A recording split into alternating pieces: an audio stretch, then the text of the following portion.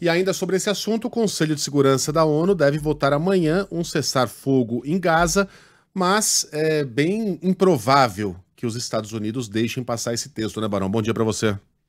Fala, Megali. Bom dia para você, para Carla, para Sheila, para todo mundo no Brasil. É mais uma tentativa agora da Argélia, que colocou é, nesse final de semana em discussão um novo cessar-fogo que vai ser votado amanhã pelo Conselho de Segurança da ONU. Mas desde o começo do conflito é, envolvendo Israel e o Hamas, algum país é, que tem ali cadeira permanente tem barrado esse tipo é, de situação. Né? E agora a embaixadora americana na ONU já declarou que é contrária. E aí os Estados Unidos têm poder de veto, assim como o Reino Unido, a França, a China é, e também a Rússia. É mais uma tentativa que vai ser frustrada, o que tudo indica, é, amanhã, até agora, só duas situações foram aprovadas de ajuda humanitária quando os Estados Unidos é, simplesmente se abstiveram na votação. O governo americano mantém uma relação histórica com Israel, apesar de que nas últimas, nas últimas semanas né, o presidente Joe Biden tem